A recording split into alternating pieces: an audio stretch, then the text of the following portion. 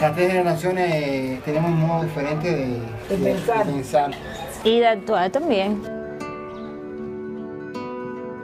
Yo nunca pensé que Fidel iba a morirse. Yo pensaba que era eterno. Ese hombre hizo mucho por la gente. Yo me enteré de la muerte de Fidel en la mañana que lo sentí en el radio, pero no me dio nada. Mi concepto de revolución es muy diferente al que tiene mi tío al que tiene mi abuela. Yo vivo en otro tiempo y a lo mejor con su fallecimiento trae un nuevo cambio.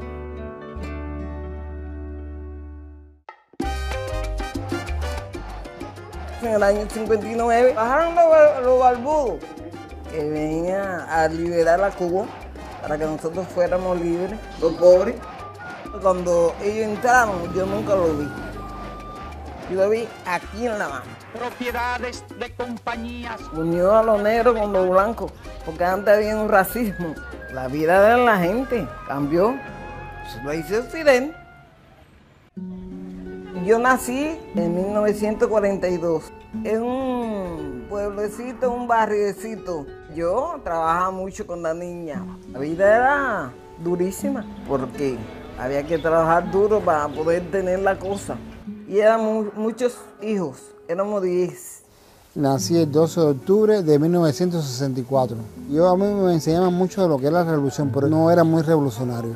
Era un adolescente, pero era un adolescente muy duro, que decía la verdad. Me entero por boca de otra gen- eh, gente gay que fueron, hubo mucha represión eh, a los gays que lo pusieron como un campo de concentración. Ser gay era como un bicho raro.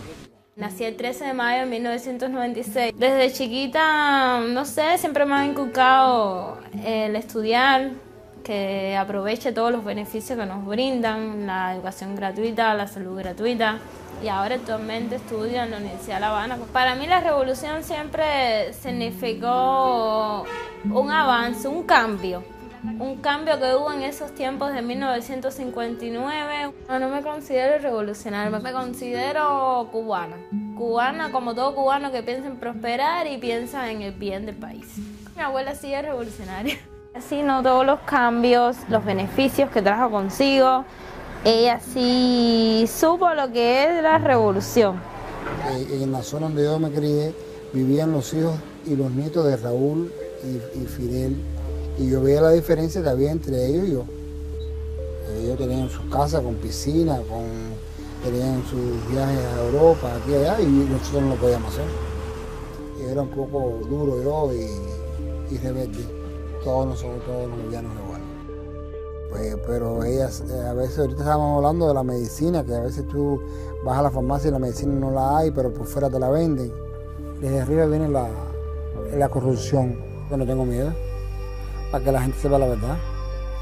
No, porque es que ahora no hay- ahora Raúl mismo dijo que había que hablar, que había que decir las cosas.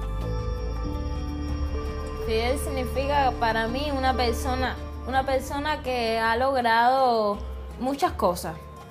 Yo no lo conocía a él a este, en esta etapa de mi vida, ya él no, no, es- no gobernaba, era Raúl, pero sí, lo que sí te puedo decir es que él hizo muchas cosas que hay que aplaudírselas y que él siempre va a estar en el legado de Cuba. Yo pienso que para la juventud es una persona mítica porque siempre nos han hablado de él, pero no tuvimos la oportunidad de conocer sus medidas.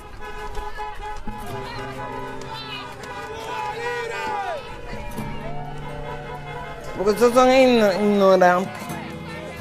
Eso no tienen sentimientos, son ignorantes. Sí, pero la generación de mi mamá vivía mucho, la, vivía mucho de la mentira. Porque mucha gente que, en esa época se viraron y se fueron para Estados Unidos. Si esa generación pensaba en irse, mi generación lo piensa más. pero mi generación piensa en irse, pero para conocer, para traer esas nuevas ideas de internacionalismo, traerlas aquí y ponerlas en práctica realmente.